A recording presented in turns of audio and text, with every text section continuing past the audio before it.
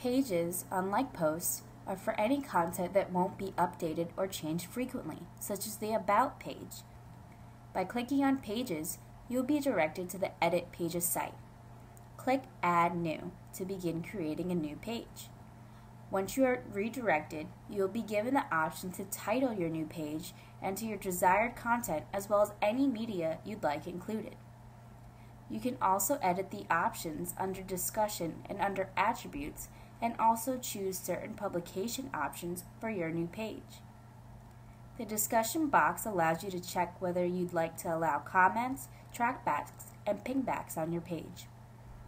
The Attributes box contains the Parents option, which allows you to create a hierarchy for your pages if so desired. This function enables you to nest documents within one another, similar to how one would create a hierarchy while note-taking, using Roman numerals, then letters, then standard numbers. The template option within the Attributes box allows you to customize the look of your blog depending on your theme. However, we strongly recommend users leave these settings alone unless you have a bare bones install.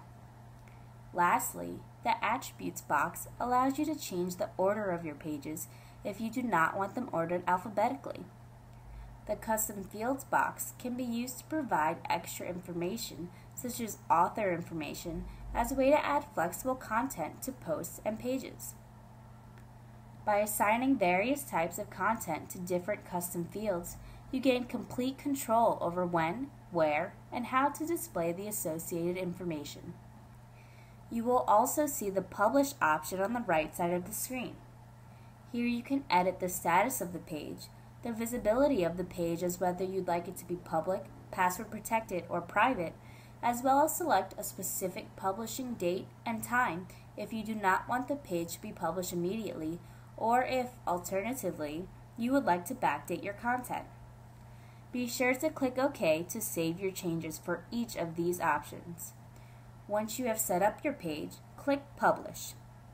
The page will reload and indicate that your new page was just published.